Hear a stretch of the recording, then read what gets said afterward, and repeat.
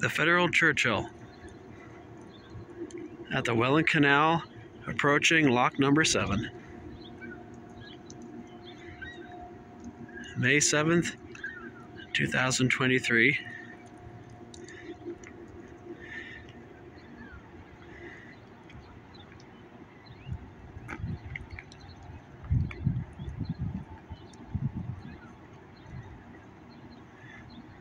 Look at the size of that.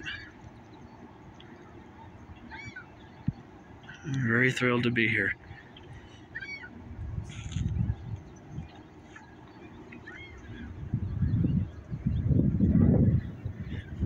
That's lock number seven, northbound.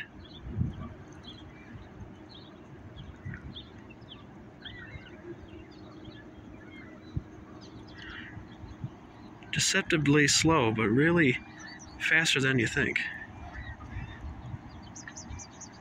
I think it's owned by FedNav on her way to Portugal in Europe, I believe. You can smell the diesel fumes from here.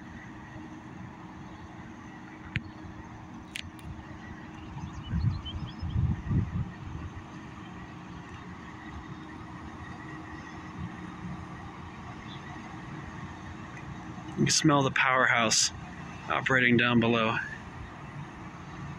There's her registry number and her flags and her identification.